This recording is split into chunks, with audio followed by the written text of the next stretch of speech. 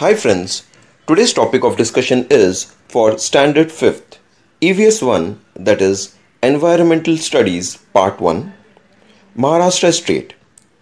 Chapter number 1 is Our Earth and Our Solar System. In this chapter we'll be talking about stars, planets, solar system. In solar system we'll be talking about planets and other heavenly bodies. In other heavenly bodies, we'll be talking about satellites, dwarf planets, asteroids. And then we'll be talking about gravity and India's space missions.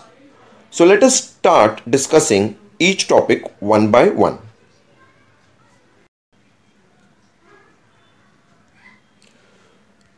So, stars. The heavenly bodies that twinkle are called stars. Stars have their own light. The sun is a star. It is closer to us than other stars, hence it appears big.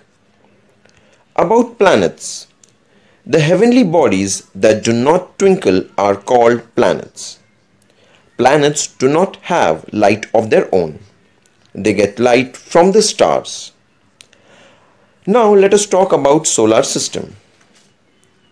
The sun, which is a star, and the planets that revolve around it are together called as solar system. Besides the planets, the solar system also includes various other heavenly bodies.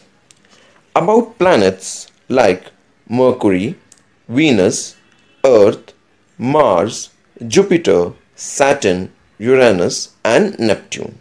So these are the planets. About other heavenly bodies, we'll be talking about satellites. Some heavenly bodies revolve around planets. They are called as satellites. Example Moon, which revolves around the Earth. Hence, it is called as satellite of the Earth. Okay, so Satellites are heavenly bodies which revolve around planet. Now let us talk about the dwarf planet. Dwarf planets are small heavenly bodies that revolve independently around the sun. Pluto, as you can see in this photo, is the most well-known dwarf planet. Now about asteroid. Between the planets Mars and Jupiter, there is a band of numerous small heavenly bodies.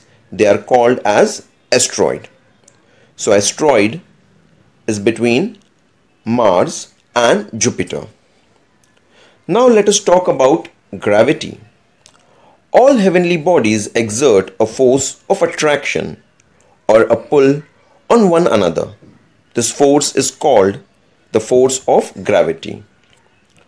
The Sun exerts a gravitational pull on all planets.